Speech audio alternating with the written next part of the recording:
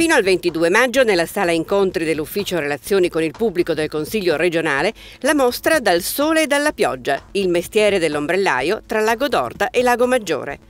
L'allestimento propone una serie di oggetti appartenenti al museo che illustrano le caratteristiche di lavorazione degli ombrelli e un gran numero di cartoline e stampe d'epoca che raccontano per immagini, storia, simboli e curiosità sul mondo del parasole e dell'ombrello dalla fine dell'Ottocento agli anni 50 del Novecento.